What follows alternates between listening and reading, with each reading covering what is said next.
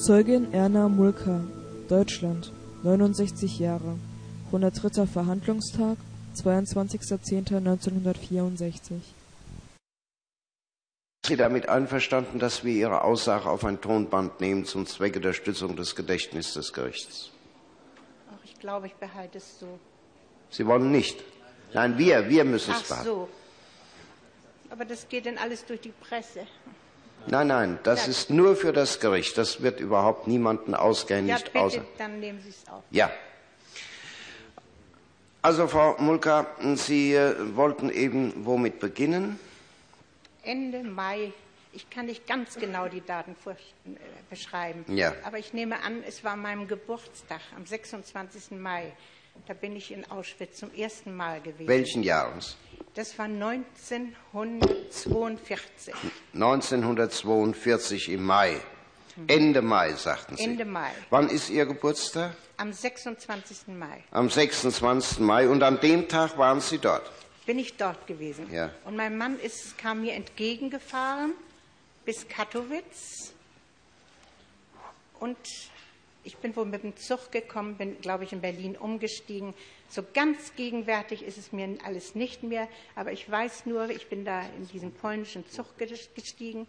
Es war alles sehr schmutzig und mein Mann setzte sich ganz dicht an mich heran. Also hat er mich wohl in Katowice empfangen und hat zu mir gesagt, Mami, wenn ich da nur wieder fort könnte, da werden Menschen umgebracht. Da werden Menschen umgebracht. Ja. Ich kann dir und darf dir nicht Näheres sagen. Und wenn du ein Wort darüber sprechen würdest, dann kostet es meinen Kopf. Und ich habe darüber geschwiegen. Ich habe weder mit meiner Mutter noch mit meinen, meiner Schwester, noch we- weder mit meiner Schwester noch mit meinen Kindern darüber gesprochen. Ich habe es alles für mich behalten. Hat er Ihnen auch sonstige Einzelheiten noch geschildert? Einzelheiten weiter nicht, nur er fühlte sich da wahnsinnig unglücklich. Und Mami, das ist alles nicht so, wie es sonst gewohnt war oder wie es vielleicht bei der Wehrmacht gewesen ist. Aber jedenfalls, es ist furchtbar, hier kann ich es nicht aushalten. Und dann bin ich, das zweite Mal bin ich wieder da gewesen und dann ist es im, in den großen Sommerferien gewesen mit meinem Sohn Rolf zusammen. Äh, In welchem Jahr? Ja, das war im gleichen Jahre, Auch 42. auch 42. Ja. Nun hat er Ihnen denn irgendwelche Dinge erzählt, was da sich abgespielt hat und warum er so erschüttert ist und warum er das nicht will und was er ablehnt? Einzelheiten hat er nicht darüber gesprochen. Hat er nicht und gesprochen. erzählt. Nur immer wieder, ich halte es hier nicht mehr aus, Mami, ich möchte fort. Haben Sie ihm nicht vielleicht einmal geraten, dann melde dich doch fort oder Ja, nein, insofern wohl nicht. Er war ja sehr krank. Er hatte ein schweres Magenleiden, zwölf Fingerdarmgeschwüre und sehr viele Koliken. Ja. Und äh, an die Front sich melden, ja, da habe ich wohl auch nicht zu raten mögen. Denn vielleicht habe ich auch an meine Familie dabei gedacht, jedenfalls. ja. Ich habe gehört, auch wenn andere sich vielleicht an die Front gemeldet haben, dass sie dann gleich erschossen worden sind. Und man Das haben Sie ja, gehört? Nein, Das das haben Sie Nein, gehört? das hat, kann ich damals noch nicht gehört haben. Richtig. Ja. Das habe ich aber später erfahren. Ja. Das haben Sie später erfahren. Ja. Ja, nun ähm, können Sie uns sonst noch sagen, wie er denn ähm, mit, äh, wie er denn gedacht hat über diese ganzen äh, Dinge des Zwangs und dieser mh, Art, wie man eben doch bei der SS mh, auch mit den eichen Leuten umgegangen ist? Oh, ich glaube, da ist dann bestimmt eine gute Kameradschaft. Denn er war von eh und je her sehr, sehr entgegenkommend und zu jedem gut Freund. Er hat jedem gern geholfen. Herr Rechtsanwalt Dr. Müller. Wie viele Besuche haben Sie insgesamt, äh, Frau Mulker, wie viele Besuche haben Sie insgesamt? Wann war der letzte Besuch? Ähm, Der letzte Besuch war im, also ganz Ende Februar oder Anfang März. 1900? 43. Ja. Und dann, nachdem ich wieder nach Hamburg zurückgekehrt bin, acht Tage wohl später, vielleicht sogar etwas eher, sechs, sieben Tage später, ganz genau weiß ich nicht mehr die Zeit, da kriegte ich schon eine Karte aus dem Gefängnis irgendwie bei Berlin, dass sie ihn verhaftet hatten. Da hatte der eigene Kommandant Höss ihn in Auschwitz verhaften lassen. Es war damals, hieß es Wehrkraftzersetzung, Heimtückegesetz. Äh, Sie waren in den großen Ferien da, 1942, ja. wenn ich Sie richtig verstanden habe. Das war also eine längere Zeitspanne dann. Waren das eine Woche oder zwei ich Wochen? Ich glaube, wir waren wohl zehn, zwölf Tage da. Das waren die Ferien meines Sohnes, ja. Und da waren wir, und da habe ich im Schulgebäude gewohnt. Haben Sie da mal erfahren, dass Ihr Mann oder Ihrem Mann oder Ihnen äh, Fische gebracht wurden? Ein einziges Mal sind uns im Winter, das macht zu Weihnachten oder vor Weihnachten gewesen, haben wir mal Schiff, äh, Fische eingefrorene geschickt bekommen. Nein, ich meinte jetzt, ob Sie während Ihrer Anwesenheit in Auschwitz, als Sie zu Besuch bei Ihrem ja? Mann waren, ob Sie da Fische gegessen Niemals. haben? Niemals. Niemals. Ich bin kein Fischfreund und mein Sohn ist auch kein Fischfreund. Hat beim dritten, beim dritten, Besuch Ihr Mann erneut gesagt, er will weg und äh, ich halte es nicht mehr aus, also im März 1943. Immer wieder, Herr Dr. Müller. 1943. immer wieder. Und dann haben wir Tag und Nacht überlegt. Und dann sind wir zu dem Resultat gekommen, ich sollte doch mit dem Kommandanten Höst telefonieren. Er hätte die Nacht eine schwere Kolik gehabt und könnte nicht zum Dienst kommen. Und das habe ich getan. Da habe ich da angerufen und äh, da war der Kommandant Höst sehr kurz gegen mich. Er mochte mich, glaube ich, sowieso nicht leiden und hat zu mir gesagt, wieso, Frau Mulker, Ihr Gatte war doch gestern noch vollkommen in Ordnung. Ich sage ja, solche Koliken treten sehr plötzlich auf. Er war ja auch mehrere Male auch dort krank und ist von dort auch aus ins, äh, zur Erholung gekommen, in, zur Kur. Ja, wo ist es gewesen? Das weiß ich nicht mehr ganz genau, aber jedenfalls ist er, glaube ich, vier oder sechs Wochen zur Kur gewesen. Das war Anfang September irgendwie. Ja, Anfang September. Ich glaube, wohl gab es Mitte Oktober 1942. Sie sagten eben, Sie haben Tag und Nacht nun überlegt mit Ihrem Mann, ja. was zu tun sei. Welche Gedanken wurden denn da erwogen, Frau Mulker, wie man da wegkommen könnte? Ganz egal, nur weg. Und ja. ich bin ja krank genug, Mami. Mir müsste es doch eigentlich gelingen. Und dann habe ich, wie gesagt, auch diesen telefonischen Anruf gemacht. Und ein paar Tage später, er war auch wohl wirklich krank, er war mit den Nerven runter.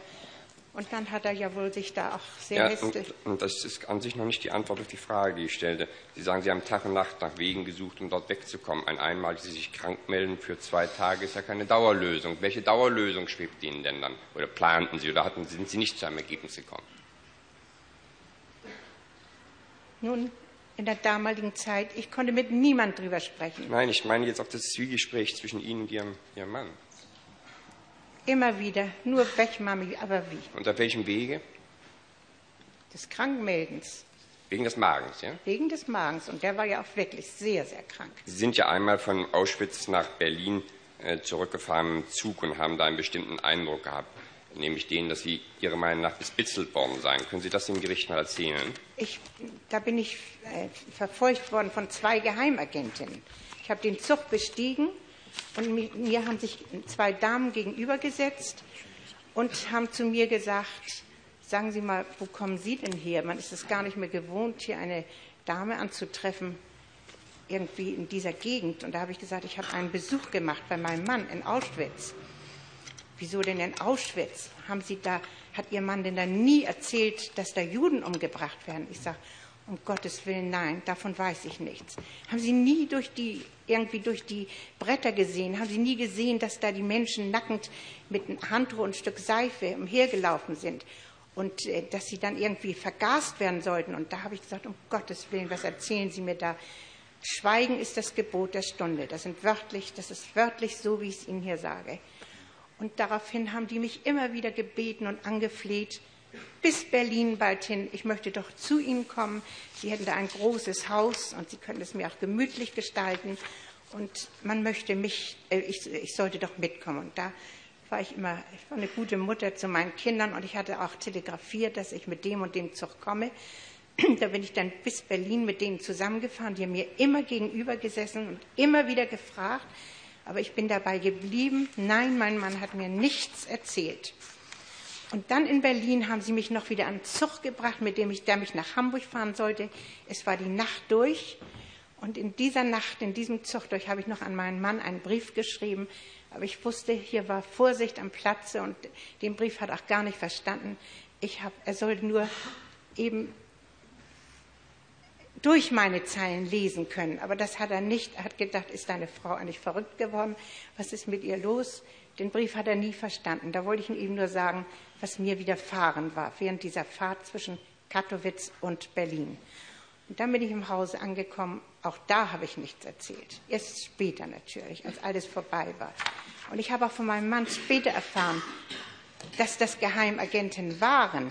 Damals habe ich es nicht gewusst. Denn ich, konnte, ich, ich wusste ja nicht viel von Geheimagenten und dass, dass es Spitzel geben würde. Ich habe mir da gar nichts bei gedacht. Keine Aber- Fragen mehr sonst? Ja, Keine Frage. Keine Fragen mehr von Seiten der Verteidigung, von Seiten der Angeklagten. Herr Staatsanwalt, wollten Sie noch etwas fragen?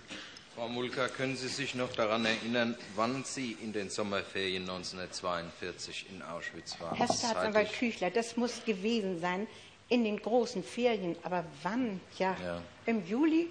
Im Juli vielleicht. Mitte Juli, denn Anfang August fing ja gewöhnlich schon, äh, waren die Ferien die ja zu Ende. an. Ja. Also Sie meinen, im Juli war es Im dann- Juli muss es gewesen sei es sein. etwa gewesen. Ja. Äh, Nun sagten Sie, Sie hätten dann äh, später nach Ihrem dritten Besuch eine Karte aus dem Gefängnis bekommen von Ihrem Ja, Mann. das ist, muss Anfang März oder Mitte März gewesen sein. Anfang März oder Mitte März 1943. 43. Können Sie sich noch erinnern, welches Gefängnis das gewesen sein soll? Herr Staatsanwalt Küchler, es war in Berlin, aber ich weiß es leider nicht. Ja. Ich habe auch nie darüber gesprochen und Ja. es mir nicht erfragt. Ich wollte eben nur das sagen, was ich wirklich weiß Ja. und was sich zugetragen hat. Wann haben Sie denn, äh, haben Sie denn von Ihrem Mann jemals erzählt bekommen, er sei in einem Gefängnis gewesen da? Das hat er mir auf der offenen Karte geschrieben. Was können Sie ungefähr den Inhalt Na, hätte ich wiedergeben? die Karte doch noch. Sie haben die Ich habe Karte. mich wohl so geschämt, auch allen Menschen Ja. gegenüber. Denn damals, in der Zeit, war es ja nun nicht schön, als Wehrkraftzersetzung ins Gefängnis zu Sicher. kommen. Äh, was stand denn ungefähr auf dieser Karte drauf, wenn Sie sich. Mami, man hat mich hier verhaftet und ich bin ins Gefängnis gekommen, ungefähr. Und da und da. Wo? Kann es Zehlendorf gewesen sein? Ich weiß nur, er war nicht lange im Gefängnis, er war nicht haftfähig und man hat ihn dann in das SS-Lazarett gebracht. Das, äh, diesen Unterschied wissen Sie also, Gefängnis und SS-Lazarett. Es ist nicht möglich, dass Sie das möglicherweise verwechseln, dass er nur im Lazarett war in Zehlendorf. Nein, er ist auch vorher im Gefängnis gewesen. Aber in welchem wissen Sie nicht. Sie haben ihn auch nicht dort besuchen können. Nein, ich habe ihn nicht besucht. Ich habe ihn aber nachher im SS-Lazarett besucht. Haben Sie ihn besucht? Ja. Und äh, wie lange kann es ungefähr gewesen sein, Ihrer Meinung nach, dass er im Gefängnis war? Ja, also als die großen Angriffe kamen, nachher 43 im Juli, da war er ja wieder in Hamburg. Und da war er ja beim Oberabschnitt, Ja. äh, Mittelweg, glaube ich. Sie sagten doch, Sie haben ihn besucht in Zehlendorf. Ja, Das muss doch schon vorher lange gewesen sein. das ist vorher gewesen. Er war nicht lange haftfähig, aber ich kann ihn leider nicht ehrlich beantworten genau, wie lange Zeit er war. Nun habe ich noch folgende Frage. Sagen Sie, war Ihr Mann Ihnen gegenüber, Ihr Mann hat Ihnen gegenüber also nichts äh, gesagt, was sich im Einzelnen da in Auschwitz abgespielt hat? Nur allgemein, da werden Menschen getötet. Mami, es ist furchtbar, da werden Menschen getötet. Ja, äh, war er denn ein sehr verschlossener Charakter oder ist er ein sehr verschlossener Charakter? Gott, wenn es sich um Sachen handelt, die er mit mir zu besprechen hätte, Ja. ganz gewiss nicht. Dann hat er wohl sein Herz auf der Zunge. Ja. Aber sonst muss ich sagen, ist er recht zurückhaltend.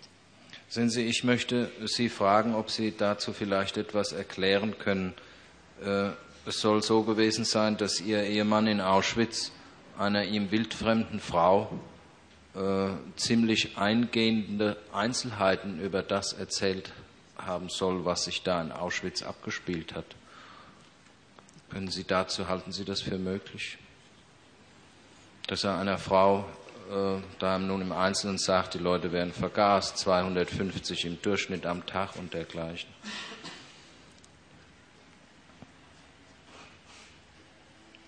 Ich wüsste nicht, war die, hat die Frau im Lager, Lager selbst Nein, gelebt? die war nicht im Lager, sondern die hat dort gearbeitet als Dentistin. Das könnte ich mir vorstellen. Aber jetzt fragen Sie mich eine Sache, von der ich ja weiß. Ja, von Ne? der wissen Sie ja. Und das kann ich Ihnen wirklich nur. Ich habe nie, niemals diese Frau Heiner Utesch oder sowas. Ja. Nie, nie gesehen. Ja. Ich hatte sogar einmal Lust, ihr zu schreiben und hatte, wollte ihr danken für das, dass sie den Mut hatte, an das Hamburger Gericht zu schreiben. Hier hat es sich, handelt es sich um einen Robert Mulka. Ich finde Ja, es das, das Frau Mulger, das wissen wir alles. Ja, und da habe ich auch Ähm, nie es- geschrieben und ja. nie mit der, ich habe sie heute zum Also Ihnen, gegen, Ihnen gegenüber hat Ihr Ehemann nie, äh, ist er nie auf Einzelheiten zu sprechen gekommen. Er hat nur, nur so Nur allgemein gesagt, es ist es werden, werden Menschen umgebracht. Ja, ja. ja. Noch eine Frage. Ähm, Frau Zeugin, war das beim ersten oder beim zweiten Besuch, dass diese angeblichen Geheimagenten im Zug mit Ihnen fuhren? Das war der letzte Besuch. Am Ende. Februar oder Anfang März. Das, das genaue Datum weiß ich nicht. Wie lange waren Sie jeweils in Auschwitz gewesen? Beim ersten Mal, beim zweiten und beim dritten Mal? Und es sind ein paar Tage gewesen, vielleicht sechs, sieben Tage. Ich glaube, in den Sommerferien mit meinem Sohn zusammen waren es vielleicht zehn, zwölf Tage. Ach, Ihr Aber Sohn ich, war auch mit. Bitte? Ihr Sohn war auch mit. Da war mein Sohn Ja. mit. In den Sommerferien ja. Ist Ihnen denn selbst bei diesen Besuchen in Auschwitz gar nichts aufgefallen? Gar nichts. Bestimmt nicht. Ich habe nichts gesehen und nichts gehört. Gar nichts. Und auch nichts gerochen? Auch nichts gerochen, wirklich nicht. Damals nicht. Das letzte Mal war eben, wie gesagt, mein Besuch Anfang des Jahres, Ende Februar 43 oder Anfang März 43. Aber ich Hat- glaube, es war schon Ende Februar. Hat Ihr Mann eine eigene kleine Wohnung dort gehabt oder nur ein Zimmer im Haus der Waffen-SS bewohnt? Oh Gott, eine Wohnung hat er nie gehabt. Ich glaube, zwei Zimmer irgendwo. Aber ganz zum Schluss haben wir ja, habe ich mit meinem Mann, und da habe ich schon so viel drüber nachgedacht, ich glaube, im Hause der Waffen-SS gewohnt. Da haben wir ein sehr gutes Zimmer bewohnt. Waren da nicht als Bedienerinnen weibliche KZ-Häftlinge tätig? Ich bin da überfragt. Ich weiß es wirklich nicht mehr. Ich weiß es wirklich nicht.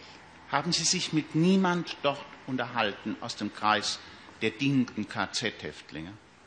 Nein, ich habe nur hinten auf dem Schulhof jüdische Häftlinge arbeiten sehen, barfuß und mit kurz geschorenen Haaren.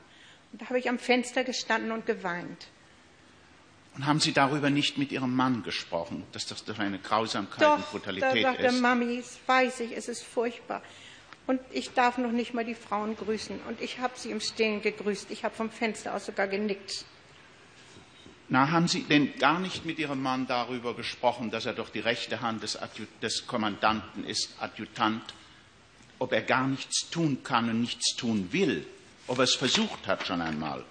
Oh, ich glaube, dazu hatte er wohl nicht die Macht. Denn der Kommandant, der war sehr eng verschlossen, sehr unnahbar. Und ich muss wirklich sagen, dass ich manchmal den Mut aufgebracht habe, wenn ich mit ihm gesprochen habe.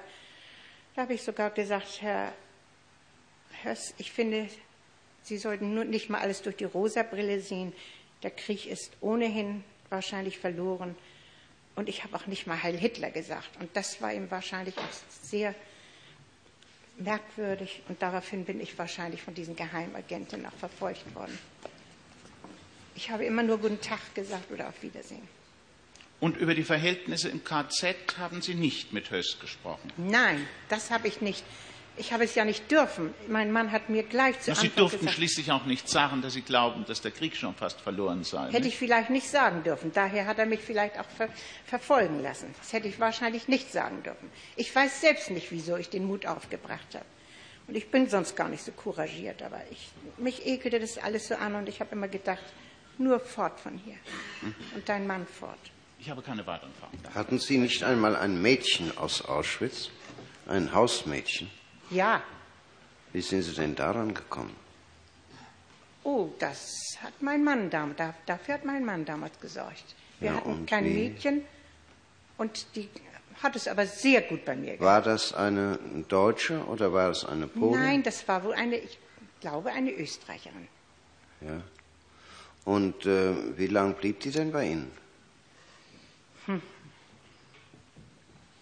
Vielleicht ein halbes Jahr. Und dann? Und dann ging sie fort. Ja, war denn Aber- das so ohne weiteres möglich?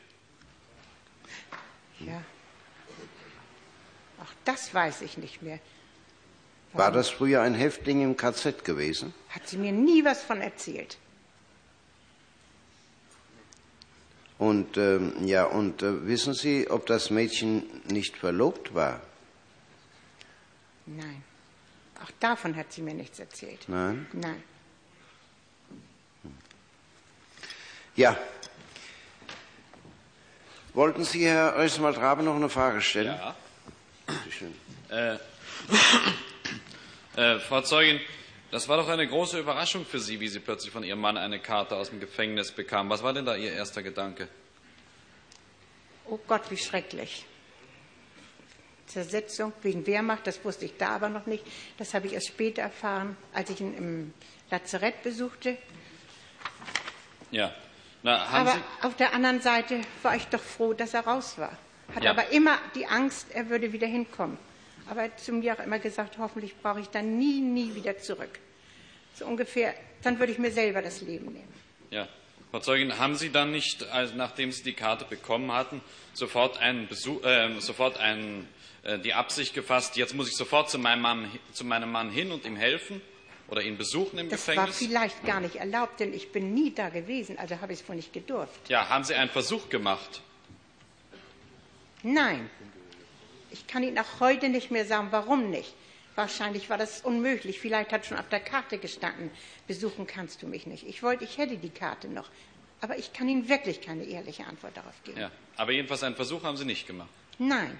Aber als ich dann erfuhr, er war nicht haftfähig und er ist in Berlin, nach, nach Berlin weiter, also ich war es Tempelhof oder so, ins, ins SS-Lazarett gekommen, da habe ich ihn dann gleich besucht. Aha, Dankeschön. Wenn keine Fragen mehr sind, einzige Frage, Frau Mulke, haben Sie Ihren Mann mal gefragt, was er denn nun eigentlich tagsüber macht im Dienst? Er war da in der Schreibstube, wie so viel ich wusste.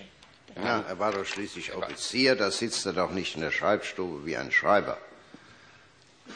Ja, anfangs ist er dahin kommandiert worden durch eine, einen General Glücks, das weiß ich heute Ja, noch. das ist ja alles Mögliche. Der Herr Rechtsanwalt Müller fragt Sie doch, ob er Ihnen was erzählt hat, was er eigentlich für eine Tätigkeit dort ausgeübt hat. Wussten Sie denn, dass er Adjutant war? Ja, darunter habe ich mir weiter nichts vorgestellt. Ja, und wussten Sie, dass er noch weitere Tätigkeiten hatte und was er den ganzen Tag machte? Hatte Er war in der Schreibstube. Ja, in der Schreibstube. Und- doch nicht als Schreiber, nicht? sondern Sie meinen im Büro wahrscheinlich, Frau Zeugin. Und hat er Ihnen erzählt, welche Aufgaben er etwa noch neben seiner eigentlichen Tätigkeit hat, oder hat er Ja, darüber auch ein- nicht gesprochen? Es war eine Truppenbetreuung, so viel ich weiß. Gucken. Wenn keine Fragen mehr sind, welche Anträge werden zur Beeidigung gestellt? Die Zeugin gemäß 61 Ziffer 2 der Strafprozessordnung als Angehörige unbeeidigt zu lassen. Von Seiten des Keinen Rechtsanwalts. besonderen Antrag, das ist ja an sich üblich, dass Angehörige unbeeidigt bleiben. Ich stelle keinen besonderen Antrag. Ja. Äh, wir werden darüber gleich beschließen.